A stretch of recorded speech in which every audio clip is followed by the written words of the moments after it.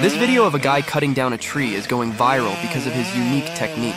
He breaks it down into four simple steps to ensure the tree falls exactly where he wants it to. First, he carefully carves out a notch at the precise spot where he wants the tree to fall. Then, he makes two cuts just below the notch, which helps control the direction of the fall. After that, he continues cutting through the trunk until it's almost completely severed, allowing the tree to swing as it tips over. Next, he makes two additional cuts on the right side of the trunk and carves out a small notch below them.